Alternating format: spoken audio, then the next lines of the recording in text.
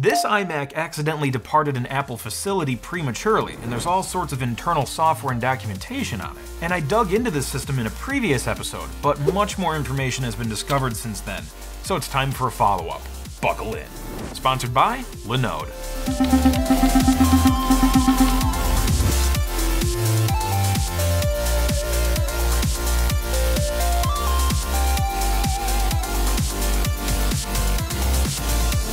Hey guys, how are you all doing? If you're new here, welcome. My name is Krazy Ken, and our rare iMac friend is back with us today. And if you haven't seen part one of this mysterious journey, I recommend checking that out first. I've officially decided to name this iMac Nemo, which is Latin for nobody, and I think that's fitting because the serial number for this computer doesn't appear in any of Apple's lookup tools. Anyway, we have some new developments to share, along with a conclusion to the question of, is this thing truly a prototype or not?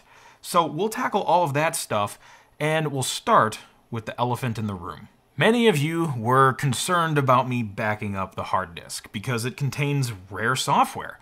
Yes, I backed it up. It was one of the first things I did. In fact, Brainiac Brent and I backed it up twice, so no need to worry. The second half of the elephant has to do with the distribution of the software. I've received many requests to image the entire hard drive and upload it somewhere for people to take a look at it.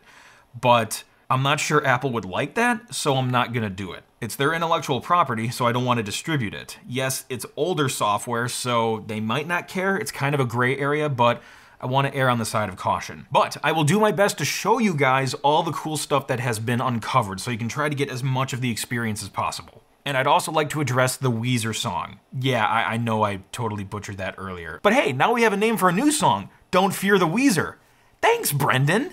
So now let's tackle some topics regarding this computer, because there's a lot of mysterious and fun stuff on it. Starting with Phoenix. The word Phoenix popped up a lot in the last episode, and as you may have saw, it's an application, Phoenix CE specifically, that runs on the system to perform tests. My initial thought was Phoenix was a code name for a team at Apple, and according to some of my sources, yes, that is in fact true. One of my sources said the team is no longer an actual team, but I have seen newer versions of the Phoenix software being used, so I can't confirm that. And by the way, the CE in Phoenix CE stands for client environment because it looks like the application talks to a server to do certain things and perform certain tests, and that application is made to run on a client which talks to the server. So client environment CE, that seems plausible. Next, DTI. We saw that initialism pop up a bunch. One of my sources says it stands for Distributed Test Image, which makes sense because this operating system, this version of Snow Leopard, is made specifically for testing. It's using a certain build number that's not a public build,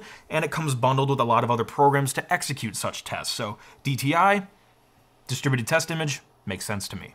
So next are the release notes. I found a document that has a bunch of release notes for this DTI and the DTIs before it. And it dates back all the way to February 15, 2009, with the pre-Proto 2 label. So this iMac came out in October 2009, but according to this document, we can mostly kind of sort of assume that testing started about eight months before this thing hit retail, if not earlier. And on top of that, there were a couple of release notes that passed that October date, which contained some minor revisions. So I'd like to address the build number situation. In the last episode, I talked about how this build number didn't match any of the public build numbers, so part of me initially assumed it was a pre-release OS. But according to my source, Unknownz, it's not a pre-release OS, it's an OS made for testing. And according to him, it's referred to as a release type, so it's like a variation of an operating system that's made only for testing. So now let's talk about that box. Remember it said QCA on it? And one of my initial theories was it stands for Quanta something something. And one of my sources said yes, it stands for Quanta California. They said particularly a facility in Fremont. I can't confirm if it was a facility in Fremont, but it was still Quanta in California. I'm not sure if they're still operating, but at least at this time, they did mass production of the K22 and K23 iMacs. So let's talk about this final.plist file. plist stands for property list. There's a secure erase shell script which references this plist so it knows what files and folders to securely erase. Inside this property list, there's several folders referenced like Apple internal, which do not show up in the file system at all. So maybe they were never on here in the first place, or they were securely erased at another point in time. Because for grins and giggles, Brainiac Brent ran data recovery software on here and we still couldn't find those folders anywhere. However, when we ran the data recovery, we did find a few other cool things that were not on the surface, so to speak, but we'll get to those in a sec. Okay, the serial number lookup. I gave the serial number to a bunch of friends, and they used various tools. Some of them used Apple's own technician tools to look up the serial number, and I used Apple's warranty tool to look up the serial number, and no one could find anything. So the serial number just does not exist anywhere. But one of my sources helped explain why. Since this iMac left the facility early and it was likely some sort of reject due to quality control issues, it never finished its final tests and it never finished its post-burn stage, which is a stage that gets the computer configured in a more customer-friendly configuration. But because those stages weren't complete and post-burn wasn't finished, the serial number was never entered into Apple's database, which they use for products. The leftover testing software on this computer, plus that terminal that says please scan running code, are pretty big indicators that this iMac was in the middle of testing, but something clearly interrupted that. So remember that SMC platform console application we looked at? And we saw all those weird keys that we didn't know what they were exactly? Well, there's a file that defines them, and it's called k22keys.html. For example, SOT3 refers to a target temperature for the iMac's optical disk drive, and it defines the value as deg-C, which is degrees Celsius. And SGTG refers to the GPU thermal target temperature. So I thought that was pretty neat. I felt like I was Nicolas Cage deciphering stuff or something like that. Anyway, there were a couple of other miscellaneous files we uncovered as well. This core wireless one really got my attention. I mean, I'm not going to pretend to understand much of it, but I saw a photo of what looked like some sort of prototype iMac in it. This document was from 2007, so it was likely not this iMac that they were working on, but you can see the screen bezel was removed from it, so it was probably some sort of lab test sample or engineering sample or something like that. So I was intrigued by that. I was also intrigued by this one page that just says TBD, so whatever, it's just internal stuff. It's all good.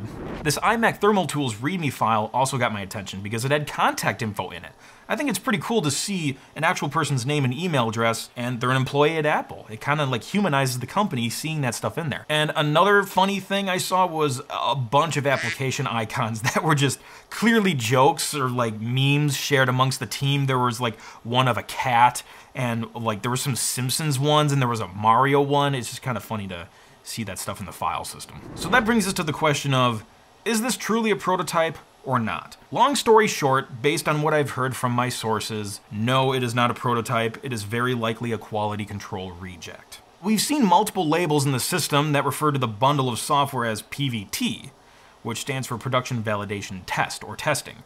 And depending on who you ask, some people may say, yes, that's a prototype, and some people may say, no, it's not. There's no special stickers or markings on the computer, the serial number isn't blanked out, so it's probably not a prototype. Plus, it doesn't have the Apple internal folder on it, so that's another hint as to it not being a prototype. And that scan running code seems to indicate that it was in the middle of testing and it was probably a reject, and it just wasn't erased properly before it somehow got out into the wild.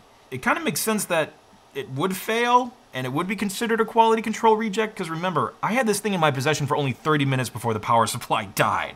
So yeah, maybe there was something wrong with this. So now, we're gonna dive into those mysterious unmountable partitions. We had two KFS volumes which did not show any names, and we could not mount them, so we couldn't look at what was on them. But thanks to Brainiac Brent, we figured a lot of stuff out, and this took a lot of technical digging. Brainiac Brent ran this iMac in target disk mode for several days while he used a Zorin OS, Linux distro, and Mac OS to run various scanning programs. The goal was twofold. One, get the volumes mounted, so we can read the data from them, and two, recover any deleted files if necessary. And before he ran the scans, he simply pulled up the partitions in Zorin's Disks app. And remember earlier how we didn't have names for those mysterious partitions? Well, now we do. The 1.9 terabyte volume had a volume name, Diagnostics, and interestingly enough, the partition name showed up as Customer, and the other previously unmounted partition had a partition and volume name of Recovery. My theory was that the customer partition was going to be used for the final system. When everything was done and erased, that partition would be reset and configured in such a way where the computer is now ready to go for the customer with a clean install of macOS on it. Theories aside, we actually have to get the volumes mounted. First, Brainiac Brent used TestDisk to scan the partition table of the hard drive, and after the scan was complete, one of the volumes was missing. All of the other ones showed up, none of them were labeled KFS by the way, but the largest partition, that 1.9 terabyte partition, didn't show up. We're not sure why that happened, but Brainiac Brent was able to manually assign a starting and end sector for that missing partition. So with that updated partition table correctly written to the disk, the computer now knows how to communicate with the hard drive properly. The volumes now all mount perfectly. Well, except for the diagnostics one. It keeps giving us a repair error, but it still mounts. Another weird thing with the diagnostics partition is in macOS Big Sur, Disk Utility reports it as using minus 95 gigabytes of space. Not sure how that happens. I'm not sure if there's some virtual thing going on, so it's like pretending to use space on the drive, but it actually isn't. Don't know, that's really weird. However, on macOS 10 Snow Leopard, which is much older than Big Sur, it only reports as using 850 megabytes. So the mysterious partitions were now mountable, and their labels gave us a little bit of a clue as to what they were going to be used for. But what about the contents of the partitions? Sadly, there really wasn't anything there. They were empty aside from those typical hidden files that are in the file system for operational use. Like, there was really nothing that stood out. So, we decided to dig a little deeper with some data recovery tools. Keep in mind, when it comes to the file recovery on this hard disk, we can't recover anything that was securely erased or overwritten. On the diagnostics partition, we found what appeared to be a complete stock installation of macOS 10 with iLife, which I would say more or less confirms my theory about the customer label, because that configuration is how a Mac would be set up with macOS 10 and iLife when it goes to retail and gets sold to the customer. We also found a lot of clip art images, and I do not recognize these at all. If anybody has a clue, feel free to let me know. As for the recovery and diag partition, we didn't find anything of interest. Just again, those typical, usually hidden files and folders that are used by macOS to help work with the hard drive and the file system. So, nothing there. Which brings us to the final partition, Max Disk, which I'm booted off of right now. We ran a deep scan on it, and frankly, we didn't find anything too earth shattering, but there were a couple different files here and there that appeared to be deleted. But my favorite one was this Vertex Performance file and in the change logs, there was a little joke written in there for a Halloween update, and it just said boo. So I like little internal jokes like that. I also like some of the language you see in some internal documents. You would normally never see these written for a customer, like, just in case there's any SMC crap in there. I, I think that's funny. Nah, Nemo. You're just full of surprises. So I have to give a big special thanks to Brainiac Brent who helped me dive into this computer, and I want to give another thanks to Unknownz21 on Twitter for helping me research the system, and I'd like to thank all of my other sources that helped me out as well. And of course, I have to give a big thanks to my friends at Linode. I've known these guys for years and they helped make this episode possible. They help me, and they can help you too. You can simplify your infrastructure and cut your cloud bills in half with Linode's Linux virtual machines. Whether you're developing a personal project, building a website, or managing larger workloads, you deserve simple, affordable, and accessible cloud computing solutions. And that's exactly what Linode is for. Heck, you can even deploy Minecraft and CSGO servers. And as a thank you for watching my show, I'll give you a 60-day $100 credit when you sign up today. You also receive 24-7, 365 human support, regardless of your plan size. You can choose shared and dedicated compute instances, or you can use your $100 in credit on S3 compatible object storage, managed Kubernetes, and more. To put it simply, if it runs on Linux, it runs on Linode. Visit linode.com slash computerclan and click the create free account button to claim that 60 day $100 credit.